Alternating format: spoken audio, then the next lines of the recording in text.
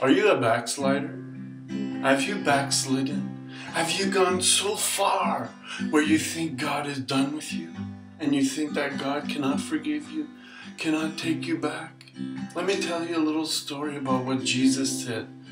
The story of the prodigal son. You'll find it in Luke 15 11 to 32. Go read it. Jesus said this son wanted his inheritance early, and so his father gave it to him and he left into a far distant land where he, he, he, wasted his money. He wasted it all in riotous living. And he found himself in a, in a, with pigs and no food, no money.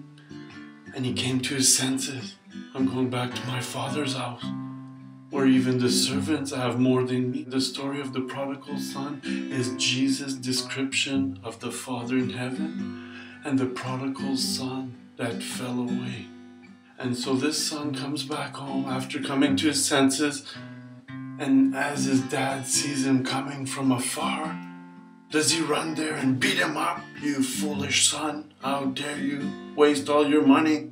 No, he runs to him, gives him a hug, and he tells the servant, Get him a robe, put a robe on my, my son's home put a ring on his finger, and kill the fatted cow. We're gonna have a feast. My son's home. My son was dead. He's alive again. He's home. And that's how God thinks of you. No matter how far you've fallen, how deep you've gone into sin, if you're his child, you're born again and you've fallen away. If you're not, you must be born again, John 3 3. Please go see my other video, You Must Be Born Again.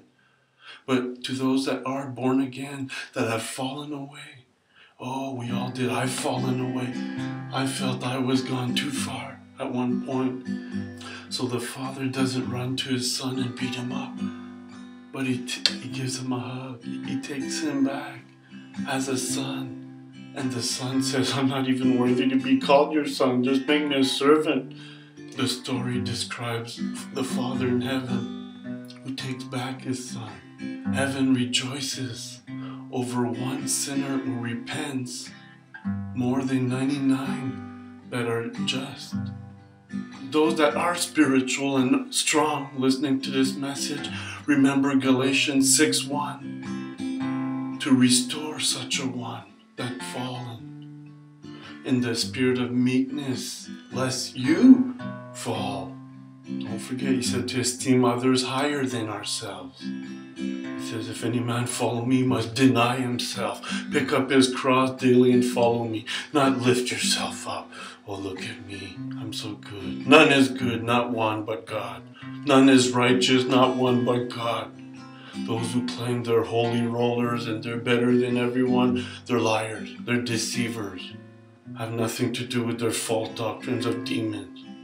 We all fall short in one way or another. The Bible says if everything that you do that is not done in faith is sin. Are you telling me everything you do is in faith?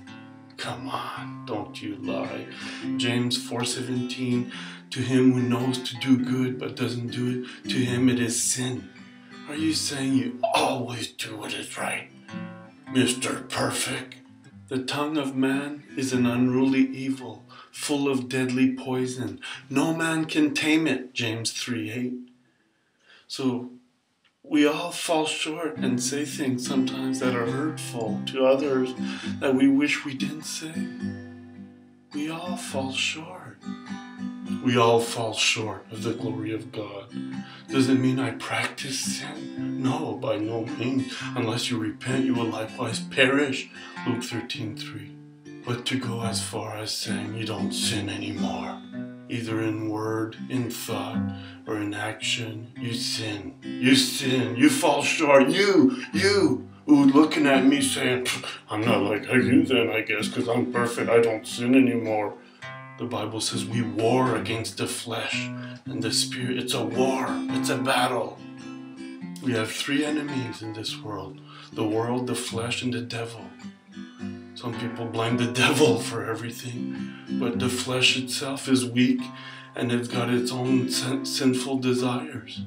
That's why he said, walk in the spirit so you don't fulfill the lust of the flesh. Do not practice sin.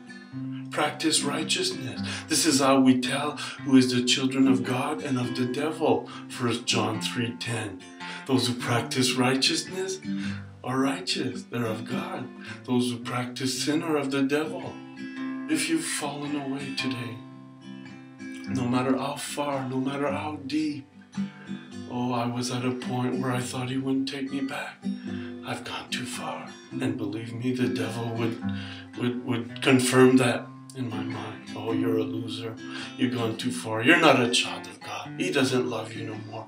He can't take you back. Look what you've done. Look what you did. Look what you've said. He's a good God. I plead with you. Turn to Him. Turn to Him today. Hope thou in God. Seek ye first the kingdom of God and his righteousness, and all these other things shall be added unto you. Trust the, that's Matthew 6:33. Trust the Lord with all your heart. Lean not to your own understanding. In all your ways acknowledge him, and he will direct your path. Proverbs 3, 5, and 6. Be encouraged today. If you've fallen away, come back to him. He will receive you with open arms. He's a good God. God is great. God is powerful. God is mighty. There's none like my God. He'll deliver you through the deepest valley. He'll put you back on that mountain when you think that you've gone too deep, you've gone too far.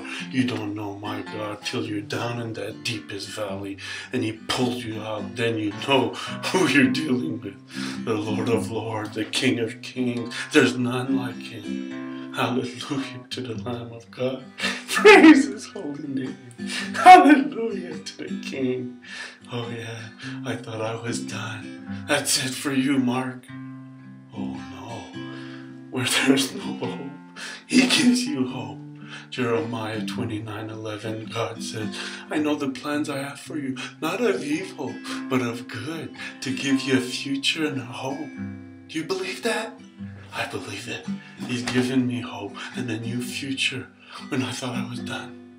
God's strength is made perfect in weakness. Sometimes it's when you're at your weakest moment that He comes in and delivers you. God is love. Come back to Him today. Tell Him, Lord, I need you. Please restore me. Please bring me back to a relationship with you. Bring me back at a place where I could worship you and honor you and not feel condemnation. Because Romans 8 1 says there is therefore now no condemnation to those that are in Christ Jesus. Have you been born again? All the trust, all the faith, all the hope that you've been putting in yourself and other things, transfer it all to Jesus Christ today. Jesus Christ is powerful. Jesus Christ is mighty. He's mighty. He said he resists the proud but gives grace to the humble. So humble yourself in His sight, and He will lift you up. If you're a prodigal, come back to Him today. In Jesus' name, receive these words. This is a message God gave me. I wasn't going to make a message today, but as I, I prayed and seek the Lord, and I asked Him if I was to, what would you want me to share? And this is what He's put in my heart. Tell him I'll take him back. Tell him if they've fallen, they could come back. He loves his children.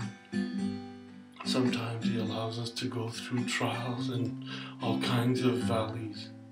The Bible says that many are the afflictions of the righteous, but God will deliver us from all of them. Do you believe that? I was at a place in my life once where I felt there was no hope. I would never get out of this one. But I'm here to tell you God seen me out of it. Here I am preaching His word. You wouldn't have believed that about me years ago. But here I am, a changed man by the grace and power of Almighty God through Jesus Christ our Lord. Receive these words in the mighty name of Jesus Christ. Come back to Him today. Amen.